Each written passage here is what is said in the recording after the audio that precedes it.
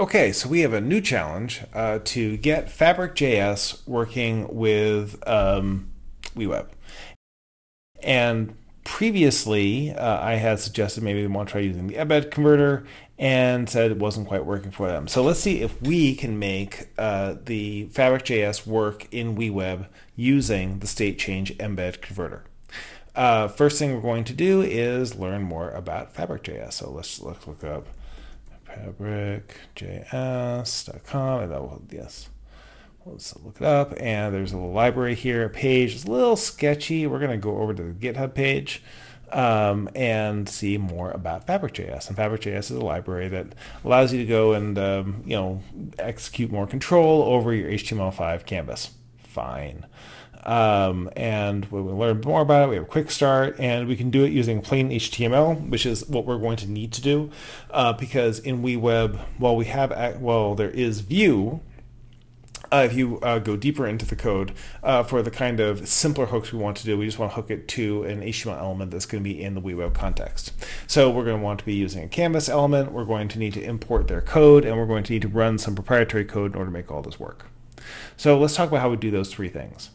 Uh, in WeWeb, let's create a new project and we'll make a new project, select blank project, and we'll call it fabric JS test. We'll create it. We're gonna wait for that to show up. Great, and bring that up. And now we have ourselves a little environment in WeWeb. Now, uh, Fabric uses the canvas element. The canvas element is not native uh, to WeWeb if I were to go look for canvas, well, obviously on buttons or labels, so I'm going to say canvas. It doesn't know about it. Uh, but what does know about is HTML.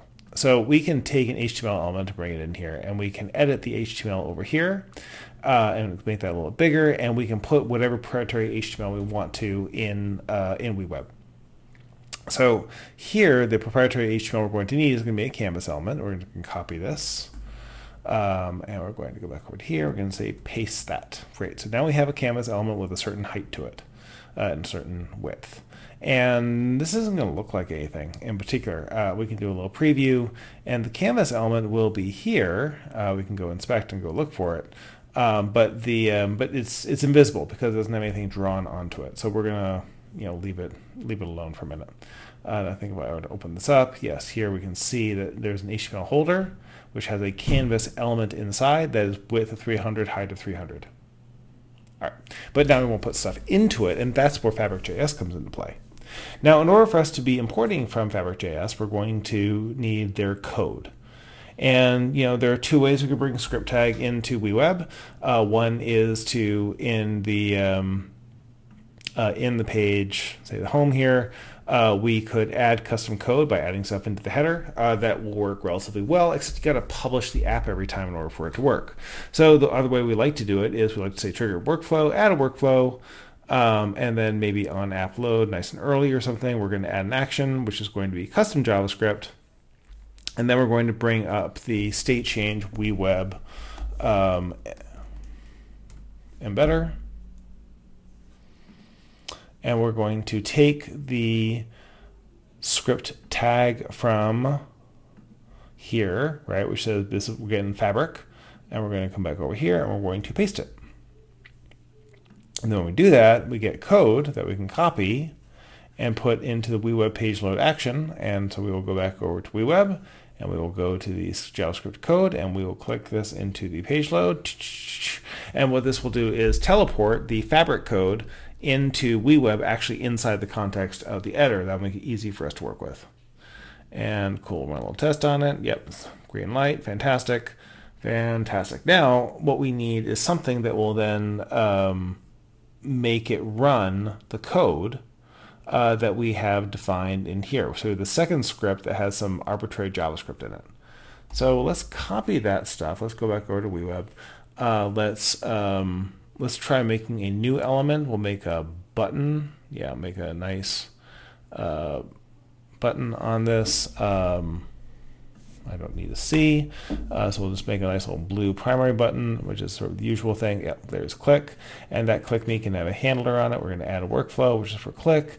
And we're going to run some custom JavaScript because that JavaScript is the code that came from our friends over at Fabric. So we have content. Da, da, da, so the idea here is it's going to look for a canvas element uh, that has an ID of canvas, which is the one we created.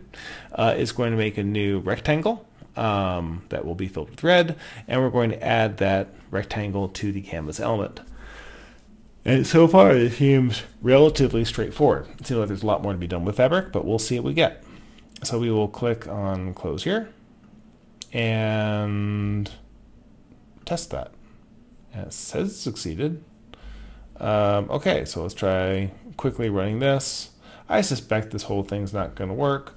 Um, so we're going to just uh, do a little refresh here.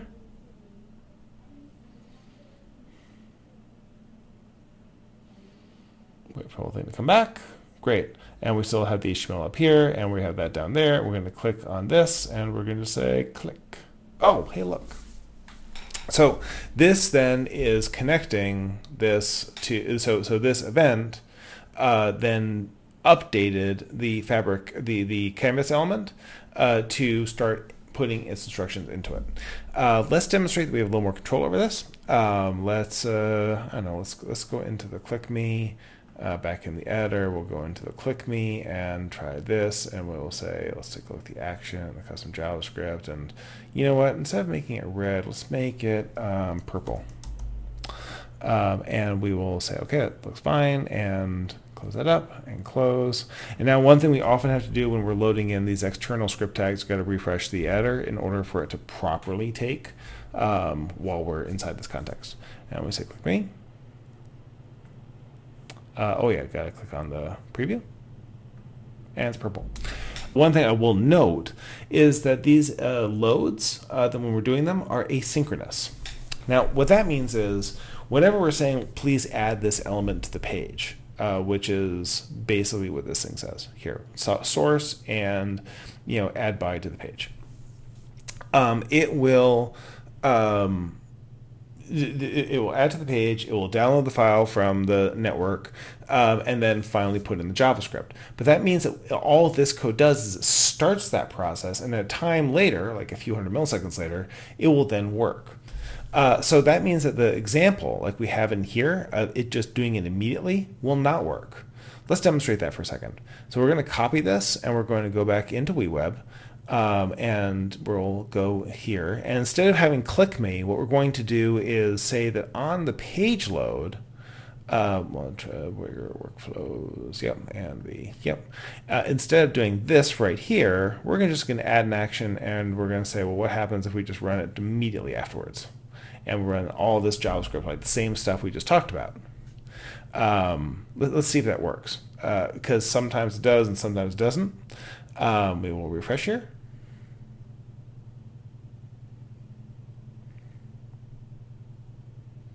Right, and there's no purple box. Uh, basically, I don't think I had time uh, to load in uh, the uh, the fabric because uh, the the fabric JS hadn't been downloaded from the network and, and, been attached to the web page by the time it was running this other little piece of JavaScript. So the way that we can kind of fake that and, and evaluate that kind of problem is I can go back into uh, the trigger the workflow and in here and in here say test. Yeah, it says fabric is not defined. So we can solve that problem relatively straightforwardly. We can say let's wait uh, set timeout. Set timeout means please wait a little bit before running the following function. And the first argument is going to be what you want to run, which is sort of done as a function. That's why you can have a block of code run later. It says please invoke that function. Um, and then we can say please run it, I don't know, a second later by doing a thousand milliseconds. Uh, so this is often a trick I use, sort of get past things that I know to be fast, but I have, have to have a little bit of timing, especially when like the other library doesn't really support like an event handler or something that I could use to, you know, plant a hook to know that it was actually done and loaded. Uh, some libraries do offer that, uh, some don't, and I really don't know where fetch is on this, so we're just going to say let's try waiting an arbitrary second and see if that helps.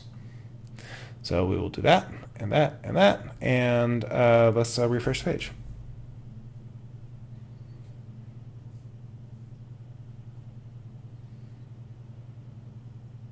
Yeah, now we get the red again. And we got the red again because what happened was it loaded the, it said, let's start loading. We're going to wait one second and then we're going to say, now let's draw the stuff on the canvas because that's what we're doing in here. We're going in and we're saying uh, trigger workflows. And so the first thing we're doing is load fabric JS. And what this does here is just loads fabric.js, which is based on the code we got from the embed converter.